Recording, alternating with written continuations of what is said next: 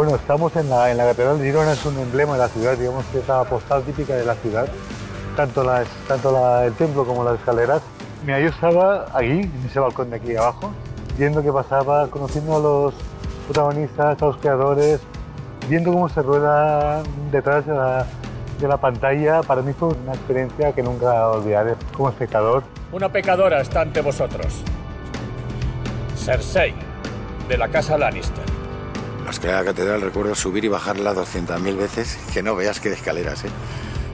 Para una gran escena de la, de la serie en la que hay un salto de- de- de- de- desde uno de los balcones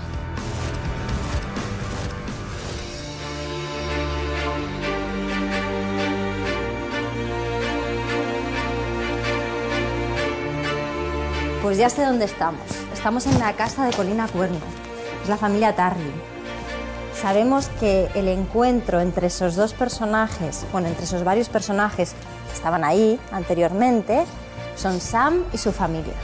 Sabemos que la relación de Sam y de su padre no es buena. Entonces, no sé, yo me imagino evidentemente un encuentro un poco tenso entre, entre estos personajes. Mi padre fue a verme. Ya eres casi un hombre, dijo. Pero no eres digno de mi tierra ni de mi título. El castillo tiene todas las propiedades como para haber sido un escenario real de cualquier capítulo de, de Juego de Tronos. A ver si nos encontramos ahí con algunas de esas estatuas que tenían los Stark debajo, eh, honrando a sus muertos. Tenías que enterrarla en un lugar así. Era mi hermana. Aquí es donde debe estar. Este es el sitio del que no puedo hablar. No puedo hablar. Yo creo que es que los entendidos de la serie se pueden imaginar lo que puede representar. El despliegue era una pasada, o sea, aquí llegó a haber unos 120, 130 camiones.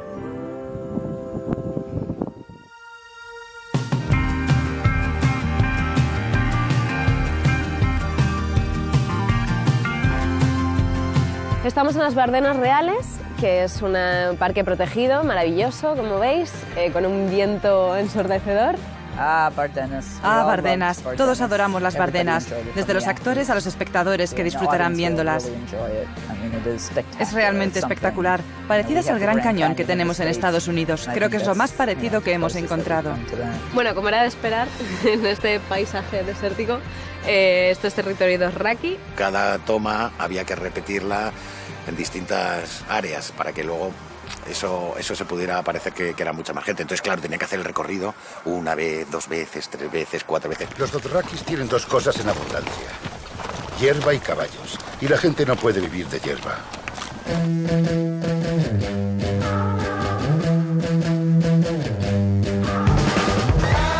La sensación que te da al bajar bueno, unas escaleras espectaculares como esta es sentirte protagonista de cualquiera de los protagonistas de Juego de Tronos, no sé. Subieron dos grandes personajes de Juego de Tronos que pasearon por aquí, que fueron Varys y Tyrion. Se ubicó también en este caso una pantalla gigantesca de croma. La sorpresa en la serie va a ser qué se va a ver detrás, que por supuesto no va a ser nuestro puerto ni nuestro parque natural, sino que va a ser otro entorno. Yo creo que han inventado un concepto nuevo, ¿no? El concepto de que realmente su plató es el mundo. Como dentro de un mismo capítulo pasas de un escenario como este, por ejemplo, pues a un paraje islandés. Y ese juego dramático con las localizaciones creo que es una de las bases de, de- de la narración y también del éxito de, de la serie. Yo nunca había visto tanta gente junta o tantos coches juntos. En realidad yo lo vi un poco, sí, como una invasión. Pusieron un croma que taparon totalmente el faro y toda la vista para este lado, un croma enorme. Y luego venían con una manitud y ponían un pequeño croma por aquí y otro por allá. O sea que total, dejaban a la gente como en un corral.